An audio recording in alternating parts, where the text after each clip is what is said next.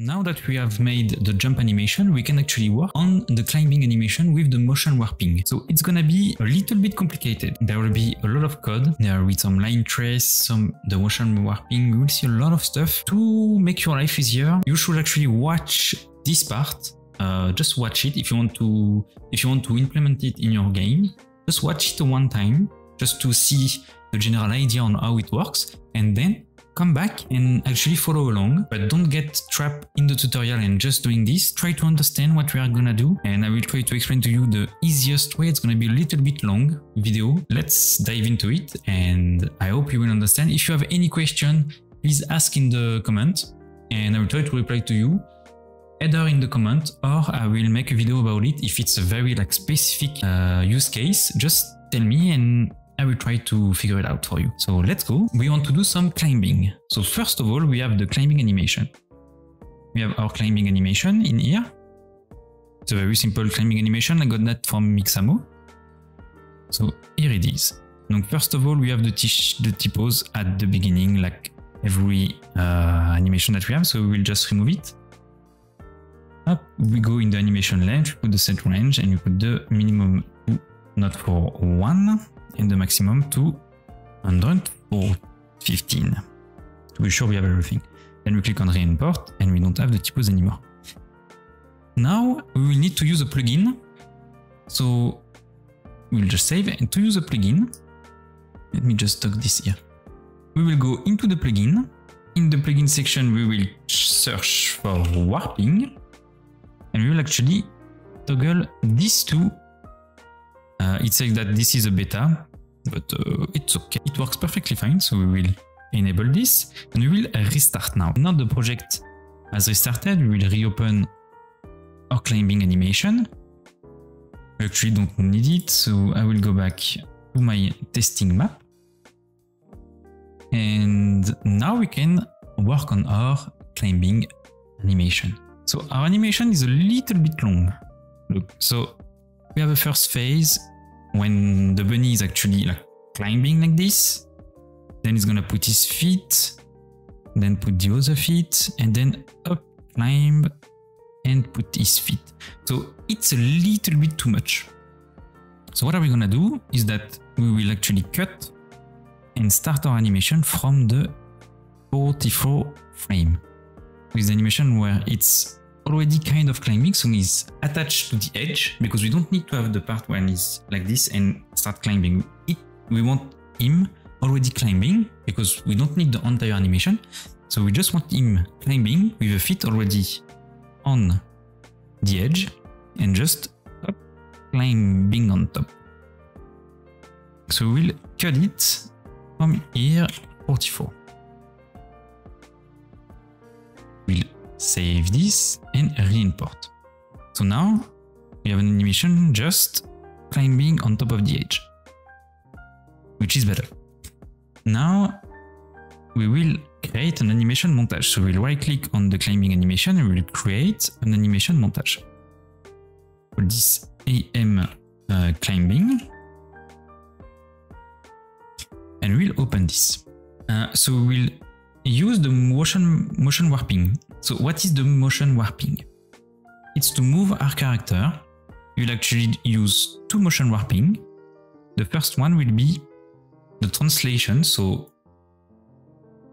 I will show you. I will try to show you. We will add some shape. We will add a cube. We will climb this little cube. Let me see if that's big enough. We'll check. Yeah, it's perfect.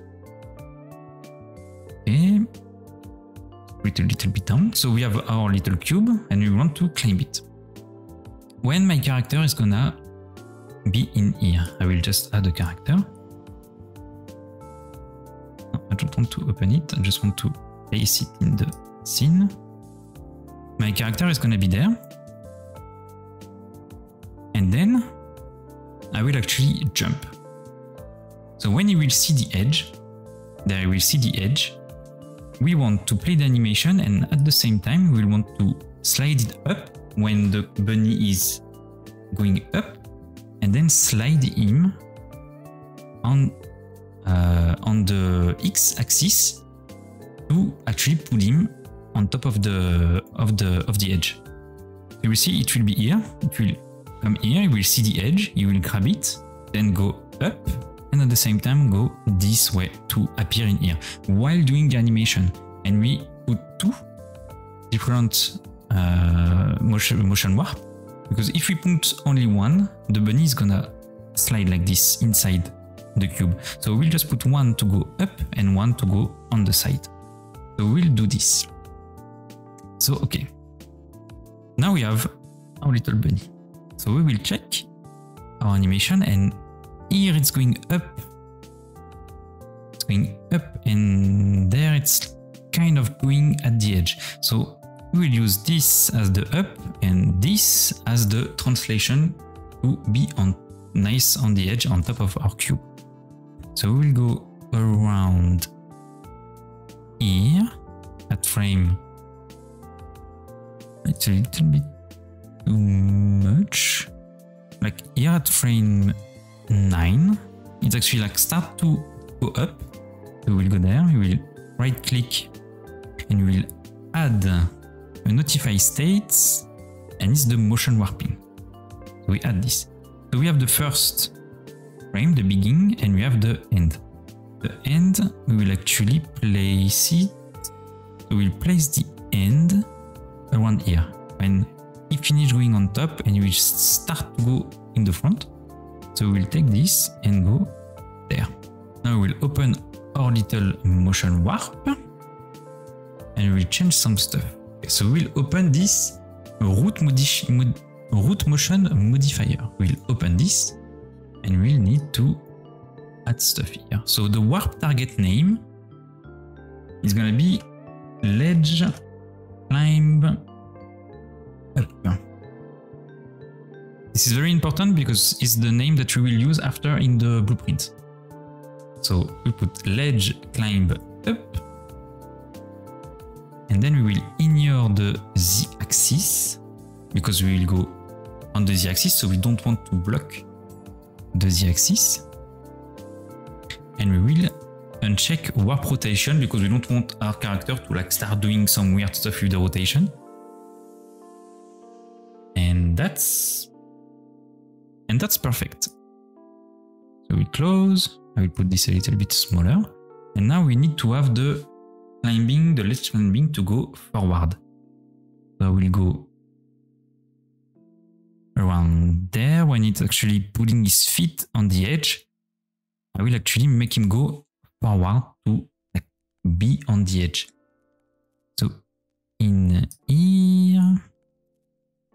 Will right click and add a notify state, motion warping. And the end, will not go at the end. We will stop a little bit before we want.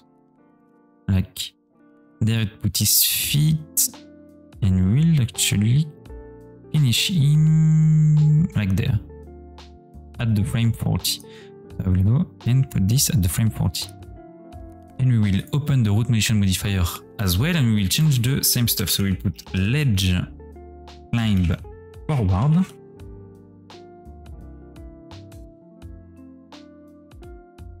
and we will also ignore the z-axis and the warp rotation.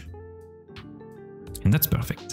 So we can save this. So we have our animation, uh, our animation montage with the motion warping. So we save this and we close this. Now we will go in our blueprint player character. So how are we gonna do that? So how are we gonna do the climbing? So first we need to have the edge recognition. We need to find an edge.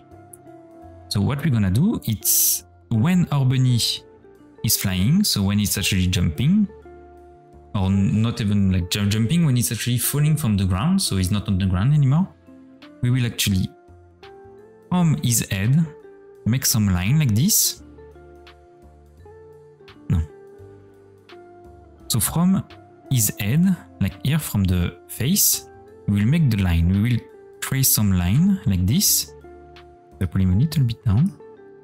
So for example, in here, we will create some line like that and we'll go up until we get out of the cube. So it will touch, touch, touch, touch, touch. And when it doesn't touch anymore, that means there was a wall and we are on top of the wall. And from this top position, we will make some like this, some line like this to actually find, because we found the edge there from the front. Now we need to find the edge from the top. So we'll put some line like this to actually find the top in here. And then we will have the coordinate of this and this so we can place bunny. So that's gonna be our edge recognition. So we'll go and work on that. So we'll add a new event that we didn't use yet. It will, it's the event tick. So the event tick is the event that is called at every frame. So when there is a new frame, when the, uh, the computer is creating a new frame, it's gonna do all the calculations that are after that. So we'll check this every time. So every time we will be falling, we will check if there is an edge and we can actually climb. Because we don't want the player to fall, we want him to grab the edge. So first of all, as I was saying, we will uh, get our is falling. So if our character is falling, we will create a branch. So we can, to create the branch, we can either right click and type branch, or we can actually press B and just left click. That works as well. So if we are falling, we will do a line trace. So we will do line trace by channel. So this is to create some line. I will show you how it works. Uh, so we want the start. For the start, we will get the actor location. I want my location, the location of our actor. And we will add add 50 in here because we don't want to start from the bottom. We want to start from like kind of his, his head. So we'll start from here, our line. So there will be the point for the beginning. It's the start. And then we want the point for the end. And for the end, it will be, we will get the actor rotation and we will get the forward vector because we want to trace a line in front of the character. So we need the forward vector. We get the forward vector. And from this, we will multiply this forward vector by a float. To multiply it by a float, I just place a new node. I call this add, the operator add, and I can right click here and choose from which uh, variable I want to add. So I will press to float. And I'll put 150. And now I will do a add.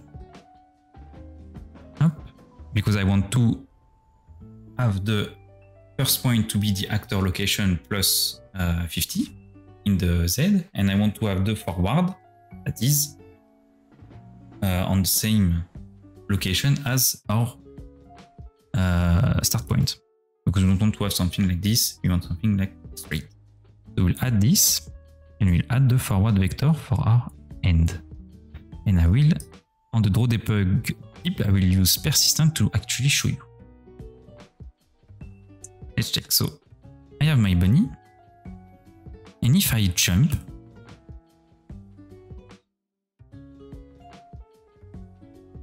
not working. What did I do? What did I do? Yeah, this I say multiply and I put plus. So we will remove this and we will do a multiply. So the multiply is either you can type multiply or you can just put the little star. We do a multiply and I will do the same thing. We will right click there and do to float. And I will put 150. Up. And if I test it now, okay, now it's from, from the head of the character. So for our climbing, I will show you how it works.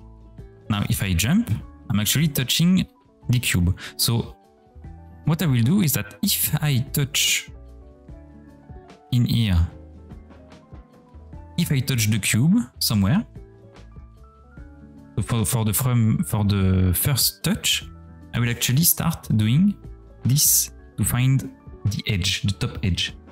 Because if I jump here, I touch nothing, so I cannot climb anything. But if I fall from here, I don't think I touched it. We'll see. No, I didn't touch it. Uh, it's okay, you will understand. So if I was close enough to the edge, I will actually have one of my line touching the edge, and then I need to find the top to be able to climb it. So if I touch, so we have two different stuff that return from the inline trace by channel. So if I touch, this will be true, and if it doesn't touch, will, it will be false. false. I will actually put a branch in here. So if I touch, I will do some stuff. So if I touch, I will do a for loop with break. Um, so we will touch the cube. So the first ray touch the cube. So then we want to create like some some line like this, but not like infinite. We will create 20 of them. 20. And if we actually touch the edge, that means we can climb. So we'll stop everything, we'll break this for loop. We'll put something in here to break it. And then we can use the completed, that means the last uh, line trace that I created is the touch of the edge. So that's good. And we will uh, then create a new line trace. So we'll create a line trace again by channel. I will put this to persistent to show you. And we will need the start and end. So we will go back to our first line trace. We will get the out hit and we will break it. If you just it there, there is the break hit result. We will break it and we have a lot of information that we can use. First will be the trace start to actually put in our start. So we'll get the trace start and we will add some value on the z-axis because we don't we want so we touch the uh, cube. And now we want from this touch start putting some line like this. So we go at the start will be on the top. So we get the start of the line plus some z-axis we put 90 and we will we need to play with our index because we want to create some line like this. So we'll play with the index I will actually multiply this index by 10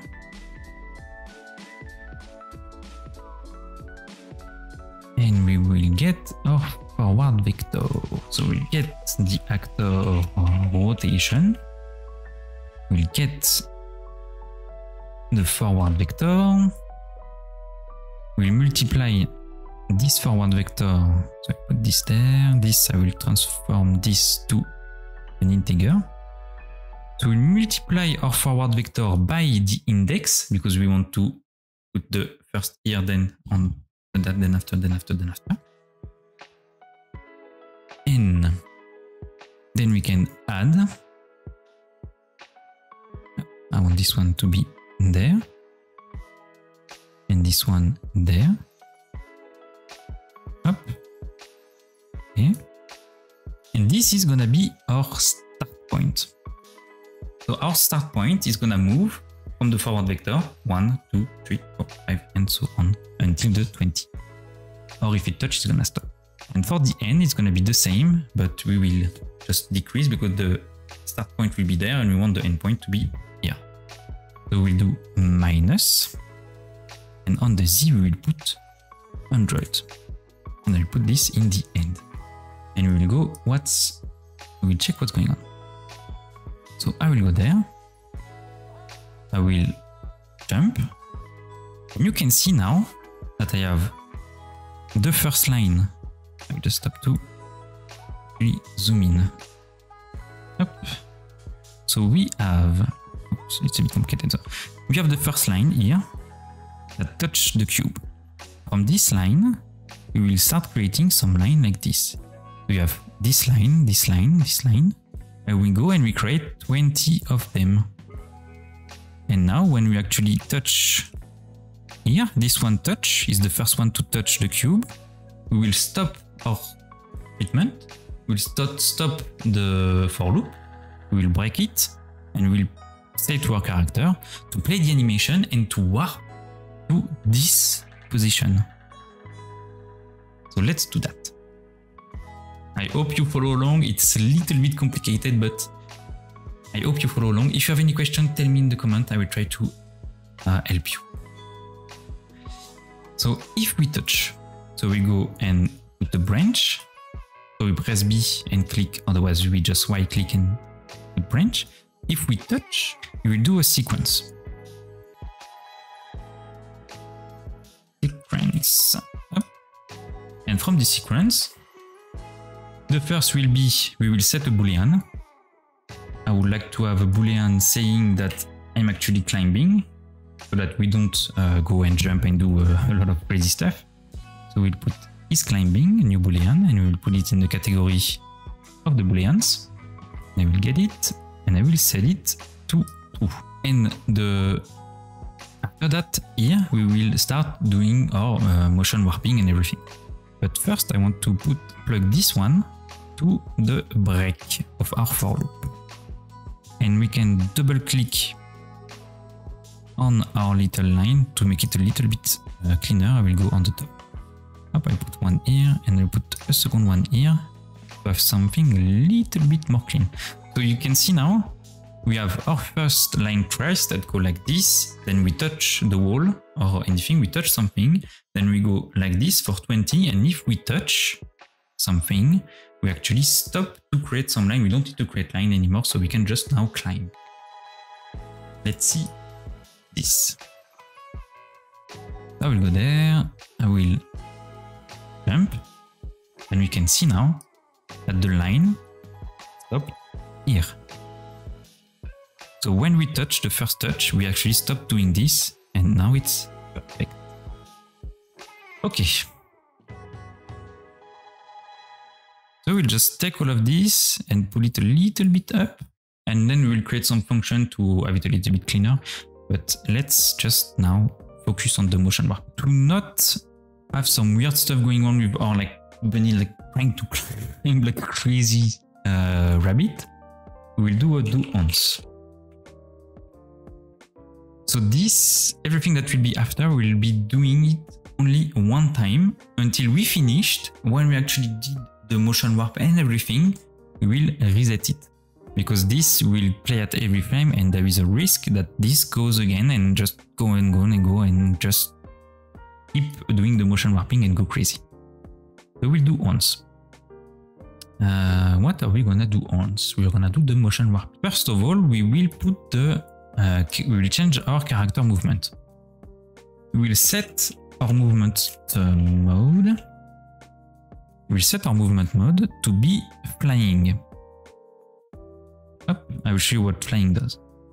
If I go there and I jump like this, there is nothing going on. If I go there, I have issue with my keyboard. Okay. If I jump, I fly. it's because I want my character to actually go from here to here. And if I don't put the flying mode, it will just go down. The gravity will be still working, so we just want to stop the gravity while we do our motion warping. Otherwise, it will not work. So we remove uh, the gravity and then we need to add a component to our uh, beautiful bunny. So we'll click on add and we want to have the motion motion warping component, this component. Now that we have this component, we can up, drag, uh, drag and drop him, uh, do the add or update warp target. So we do add or update warp target. We'll plug this in and we will break this warp target. So we will right click on the pin and we will split the struct pin up. And now we can uh, fill this in. So the warp target name is going to be the name that we have put in our animation montage. So we'll go in our animation montage. And the first one was the ledge climb up. So I will copy it, prevent the error, copy it, and I paste it in here. Uh, we will just put the actor rotation to be our actor rotation. We don't want to change it. And we will split this target location. It will be easier. So we want to have the location of the X, Y, and Z. So the location, as I was saying, is the, when we touch, it's the top of the cube. So we'll get this. So we will go in, in here. The line trace that touch, we will break this hit result. And we will get the location, we see the location of the hit in the world space. So it's exactly what we want. It's the location where we have touched the cube. And we will break this vector because we don't want to have everything. Because this is the ledge climb up, we just want to have the location of the z-axis. We will not do the translation like this straight away. So we just want to have the z-axis, we put the z-axis there. And for the x and y, we will use the actor location. Let's get our actor location and we will break, we will split this struct pin. The x, we will add something and we will get our actor forward vector. And we'll split, split this pin also. And we will multiply this by 48 and we will also multiply this by 48. So if you have a different character, it will maybe be different. So you can try to put the one I put and if it's not working well, not perfectly, you can just tweak them. There will be a few variables that you can tweak. These two can be tweaked. And we'll put this in here. And this is gonna be our target location X. And for the Y, we will do the same stuff. We will add up, put this in here and this one in here, and the Y is gonna be in the Y. So now the climb up is good, we need to do the same for the climb forward. So we'll get our motion warping and our order update warp target. We'll plug it in. I will just change this to the forward. I will get it to be sure I don't mess around. Up, up, okay. So we will go and get up our location again and we will break this vector. We will pull the X and Y straight away because it's our destination and we will just tweak a little bit the Z. So we'll get our actor location. I will break this pin, split this pin, and for the Z, I will add 50. So that's the same, it's the value that you can tweak if uh, it's not working properly for you. And we will get the actor rotation for the actor rotation. We don't want to change this. We will compile and save. And now we can play, we can play our montage, we can play our animation. Uh, so we will get our mesh and we'll do a play montage. The asset that we want to play it's our climbing and in the play rate I will put 1.5 because I want it to go a little bit faster. And now when we start doing our play montage we will stop this event. This event we will stop it. So that it does not go back in there and just start doing stuff again. We stop it. So we will get, we will set the actor tick enable to false. So this function is not gonna work anymore and we will get our spring arm. Now we'll set the do collision test. We don't want to do the collision test anymore. It's to prevent the spring arm to do some crazy stuff with the camera. And then to make it a little bit better, in we will go back in our animation montage. We'll stop this animation. And we will not stop it at the end because it's too long. So we'll cut it in a little bit here. We'll cut the animation, for example, at 40 because it does nothing. It's just like stay like weird doing weird stuff. So when it's up, we will just stop it like at 43. So we will create a new notify. I will create a new notify track because this track is for the motion warping. We will create another one.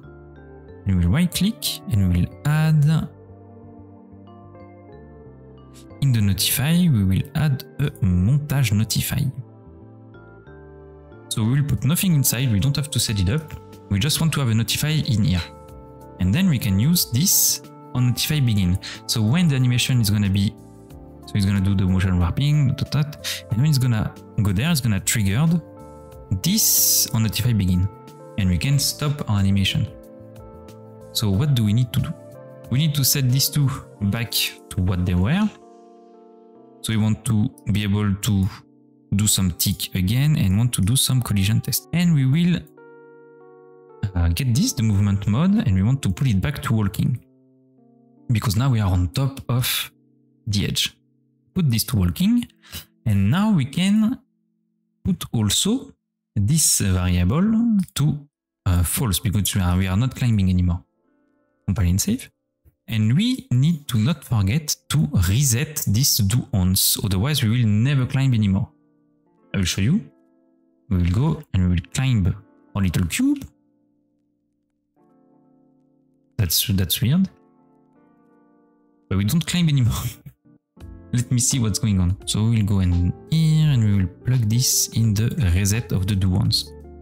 I will make it a little bit clean.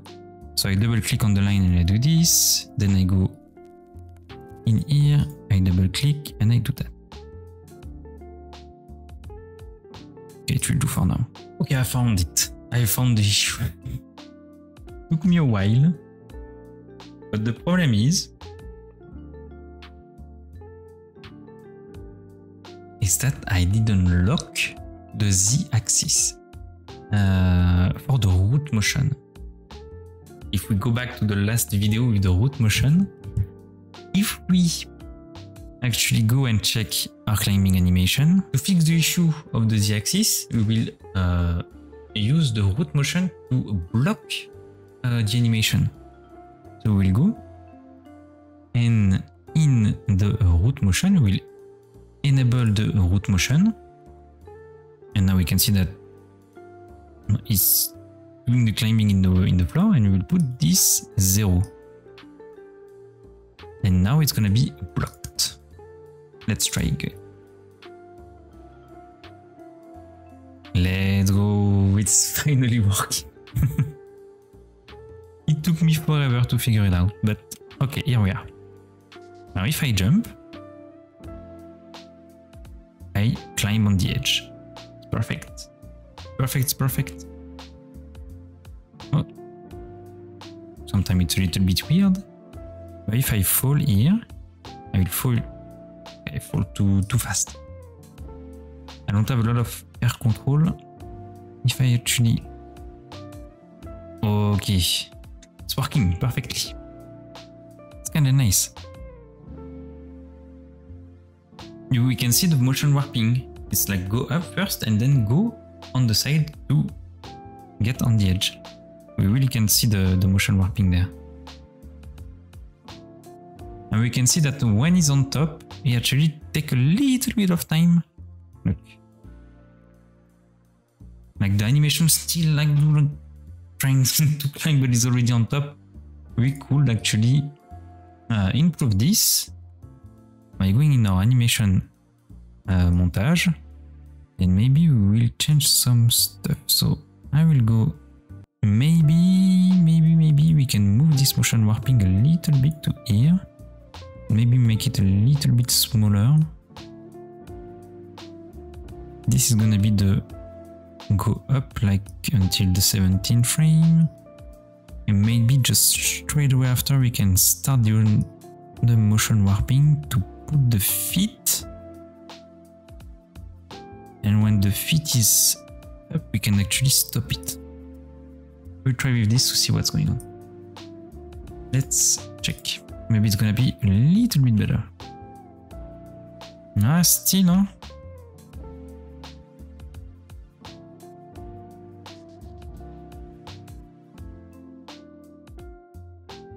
It looks... Looks good for now, I think. What do you think? Did you like it? I will just remove the red line because we don't need it anymore. Up, up, up, up, up. In here, the debug, draw debug type will put to none. and this one to none as well. We can compile and save. And now we can climb. Perfect. Okay, we can actually put, we can go and uh, by pressing Alt and drag, we can put some of the cube. We'll make like a little platform to make the character jump. This, this somewhere there. Maybe we can add another one there a little bit up. And can we actually go on top? So we can go on the first one, we can go on the second one, we can go there, we can climb this one, and we can go. And I fell down. It's perfect. It was a long video. Took me a lot of time to figure out the, the issue with the root motion, but it's working. So we almost have everything uh, for our game. We need to add some physics, but we will do that later. First, the next video will be about uh, multiplayer replication. Because if I show you now, I will put two player. Up, so I have two a player. You can see that I have this player. They are not even on the same server. Up. If I go in the net mode and play as listen server and we put two player, I will do this and there will be two bunny. I can put this one there and the other one is there. If one is actually climbing, you can see on the right, I'm, um, I'm actually playing with the one on the right, but we can see the server on the left. If I climb, actually working is actually working on the server, but if the server, uh, oh, can I show you? I will do this. If the server is climbing, we can see that the animation is not replicated. You can see that. Okay. You can see on the bottom right that the server, the bunny is just like going on top. Sometimes it works, sometimes it does not. A little bit weird. But we will fix that with the replication. So we'll do that uh, on the other video. So I hope you enjoyed this video. It was very long. I hope uh, you understand, you understood how to do the motion warping, how to use it. Uh, and if you have any question or if in any issue, please ask in the comment. And if you got all the information you want on the motion blend, please drop a like and don't forget to subscribe to not miss the multiplayer replication video. And that's it for me. I See you on the next one.